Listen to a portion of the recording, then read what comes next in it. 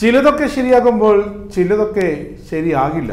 അതാണിപ്പോൾ ദേശീയ കോൺഗ്രസിന്റെയും കേരളത്തിലെ കോൺഗ്രസിന്റെയും ഒരു അവസ്ഥ. കോൺഗ്രസിന്റെ ദേശീയ തലത്തിലെ അക്കൗണ്ടുകൾ ആദായ നികുതി വകുപ്പ് മരവിപ്പിച്ചത് എ സി സിക്ക് എന്തായാലും ഒരു അനുഗ്രഹമായി മാറിയിരിക്കുന്നു. കാരണം ഏറെ പണച്ചിലവുള്ള ഈ തെരഞ്ഞെടുപ്പ് കാലത്ത് ഉള്ള പണം പാർട്ടിയുടെ അക്കൗണ്ടിൽ സ്ഥിരം നിക്ഷേപം പോലെ കിടക്കും. തെരഞ്ഞെടുപ്പ് ചെലവുകൾക്കുള്ള പണം അതാത് സ്ഥാനാർത്ഥികൾ പിരിച്ച് ചിലവാക്കിക്കൊള്ളണമെന്നാണ് ഇപ്പോൾ ഹൈക്കമാൻഡ്. വിവിധ സംസ്ഥാന കോൺഗ്രസ് ഘടകങ്ങൾക്ക് നൽകിയിട്ടുള്ള അനൗദ്യോഗികമായ നിർദ്ദേശം. അങ്ങനെ പിരിച്ചുണ്ടാക്കുന്ന പണമോ വാരിക്കുരി ചിലവാക്കരുത്. അവശ്യ ചെലവുകൾക്ക് മാത്രം ലഭിക്കുന്ന പണം വിനിയോഗിക്കണം. ഏത് മാർഗത്തിലും ഇങ്ങനെ സ്ഥാനാർത്ഥികൾക്ക് തിരഞ്ഞെടുപ്പ് കമ്മിറ്റികൾക്കൊക്കെ പണവും കണ്ടെത്താം. ഇതാണ് ഇപ്പോഴത്തെ നിർദ്ദേശം. അല്ലെങ്കിലും ഈ കോൺഗ്രസ് സ്ഥാനാർത്ഥികൾ പണ്ട് തൊട്ടേ എ ഐ സി സി ഫണ്ടിൽ നോക്കിയിട്ടല്ല തെരഞ്ഞെടുപ്പിന് ഇറങ്ങുന്നതും ജയിക്കുന്നതും തോൽക്കുന്നതുമൊക്കെ. അപ്പോൾ ഇനി സ്ഥാനാർത്ഥികൾ ഇറങ്ങി പണം പിരിക്കുമ്പോൾ മറിച്ച് വോട്ട് കുത്തുമെന്ന് പഠിപ്പിക്കുന്ന വോട്ടർമാർക്ക് ഒന്നും കിട്ടില്ല എന്നർത്ഥം. അങ്ങനെ പാപ്പരായ സ്ഥാനാർത്ഥികളാണ് ഇപ്പോൾ കോൺഗ്രസിന്റെ എല്ലാ സ്ഥാനാർത്ഥികളും. പി സി സികളും സ്ഥാനാർത്ഥികളും സ്വന്തം നിലയ്ക്ക് പണം കണ്ടെത്തണമെന്ന എ സി സി തീരുമാനം വന്നതിന് തൊട്ട് പിന്നാലെ കെ പി സി സിയുടെ തീരുമാനം വന്നു പണപ്പിരിവ്. പ്രതിപക്ഷ നേതാവും കെ പി സി സി അധ്യക്ഷൻ നടത്തിയ സമരാജ്ഞിയിൽ നിന്നും പിരിച്ച പണം എവിടെ എന്ന അണികളുടെ ചോദ്യത്തിന് അതിന് അതിന്റെതായ ചിലവ് വന്നിട്ടുണ്ടെന്നാണ് നേതാക്കളുടെ മറുപടി. സ്ഥാനാർത്ഥികൾക്ക് ഇത്തവണ എ ഐ സി സിയിൽ നിന്നും പണം ലഭിക്കില്ല എന്ന് ഉറപ്പായി. അതുകൊണ്ട് തെരഞ്ഞെടുപ്പിന് മുമ്പ് അടിയന്തര പണപ്പിരിവ് നടത്താൻ കെ പി സി സി ഗൗരവമായി ആലോചിക്കുകയാണ്.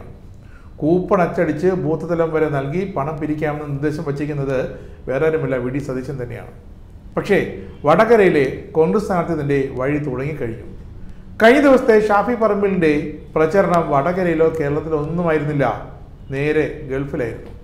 കോഴിക്കോട് നിന്നും വിമാനം കയറിയ ഷാഫി നേരെ വോട്ട് തേടിയെത്തിയത് ഗൾഫിൽ. യു എയിലും ഖത്തറിലും പ്രവാസികൾ കണ്ട് വോട്ട് ചോദിച്ചു.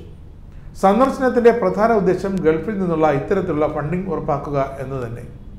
അത് ഷാഫി ഉറപ്പാക്കുകയും ചെയ്തു. പ്രത്യേക വിമാനം ഉൾപ്പെടെ ഏർപ്പാടാക്കി പരമാവധി പ്രവാസി വോട്ടർമാരെ നാട്ടിലെത്തിക്കുമെന്ന ഉറപ്പും ഷാഫി കൊടുത്തിട്ടാണ് തിരികെ കേരളത്തിലേക്ക് എത്തിയത്. അങ്ങനെ ഷാഫി തന്റെ തെരഞ്ഞെടുപ്പ് ചെലവ് കൃത്യമായി ഒപ്പിച്ചിട്ടുണ്ട്. ഇനി ഏതൊക്കെ കോൺഗ്രസ് സ്ഥാനാർത്ഥികൾ ഷാഫി മോഡലിൽ ഇങ്ങനെ ഫണ്ടിംഗ് തേടി കടൽ കടക്കുമെന്ന് അടുത്ത ദിവസങ്ങൾ അറിയാം. തെരഞ്ഞെടുപ്പ് പടിവാതുക്കൽ എത്തി നിൽക്കുന്ന ഈ ഘട്ടത്തിൽ കോൺഗ്രസിനെ കേന്ദ്ര പാപ്പരാക്കിയത് ജനങ്ങൾക്കിടയിൽ സിമ്പതിക്ക് കാരണമായിട്ടുണ്ട്. അതുകൊണ്ട് പ്രവർത്തകർ ആവേശത്തോടെ തന്നെ കൂപ്പണുമായി പണപ്പിരിഞ്ഞിറങ്ങുമെന്നാണ് കെ പി സി സിയുടെ വിലയിരുത്തൽ. ഇനിയുള്ള ദിവസങ്ങളിൽ പ്രചരണം കടുക്കും. തെരഞ്ഞെടുപ്പ് പ്രകടനത്തിൽ സി പി എമ്മും ബി ജെ പിയും പണം വാരിക്കുരി ചെലവാക്കുന്നു എന്നാണ് അത് കൊതിവിടുന്ന കോൺഗ്രസ് നേതാക്കൾ പറയുന്നത്. ഒപ്പത്തിനൊപ്പം ഭൂരിപക്ഷം മണ്ഡലങ്ങളിലും പ്രകടനം നടത്തണമെങ്കിൽ പാർട്ടിക്ക് ആവശ്യം മാത്രം പോരാ പണം തന്നെ വേണമെന്നാണ് സ്ഥാനാർത്ഥികളുടെയും ബൂത്ത് കമ്മിറ്റി ഭാരവാഹികളുടെയും ഒരു നിലപാട്. ദേശീയ നേതാക്കൾ സാമ്പത്തിക പ്രതിസന്ധി കാരണം സംസ്ഥാനങ്ങളിലേക്കുള്ള യാത്രകൾ ചുരുക്കുമെന്ന് നേരത്തെ തന്നെ അറിയിച്ചിട്ടുണ്ട്. രാഹുൽ ഗാന്ധി നേരത്തെ അറിയിച്ചതാണ് ടിക്കറ്റ് എടുക്കാൻ പോലും കാശില്ല. അതുപോലും സമ്മതിക്കാതെ അക്കൗണ്ടുകൾ മരവിപ്പിച്ചിരിക്കുന്നുവെന്ന് ഇതിന് സമാനമാണ് സംസ്ഥാനത്തെ നേതാക്കളുടെയും അവസ്ഥ. ഇരുപത് നിയോജക മണ്ഡലങ്ങളുടെയും ചുമതല നൽകിയിരിക്കുന്ന നേതാക്കൾക്ക് യാത്ര താമസം ഭക്ഷണം എന്നിവയ്ക്ക് പണം കണ്ടെത്താൻ പാർട്ടി ഇപ്പോൾ പ്രയാസപ്പെടുകയാണ്. ഒരു സംശയം. ഇവിടുത്തെ കോൺഗ്രസ് സ്ഥാനാർത്ഥികളിൽ ആരാണ് പാവപ്പെട്ടവൻ? ഒന്നല്ല പത്ത് തെരഞ്ഞെടുപ്പുകളിൽ മത്സരിക്കാനുള്ള സമ്പത്ത് ഈ എല്ലാ സ്ഥാനാർത്ഥികൾക്കും ഇപ്പോഴേ ഉണ്ട്. പശ്ചിമ ബംഗാൾ മുഖ്യമന്ത്രി മമതാ ബാനർജിയെ പോലെ തന്റെ ഇടുങ്ങിയ കുടുംബ വീട്ടിൽ ഔദ്യോഗിക വസതിയേക്ക് താമസിക്കുന്ന എത്ര എം എൽ എമാരുടെ കൂടെ പാർട്ടി ജോയിന്റ് കൗൺസിൽ കെട്ടിടത്തിലെ ഒറ്റ മുറിയിലാണ് തന്റെ കിടപ്പെന്ന് തിരുവനന്തപുരം സ്ഥാനാർത്ഥി പന്നിൻ രവീന്ദ്രൻ പറഞ്ഞത് മനസ്സിലേക്ക് ഓടി വരുന്നു.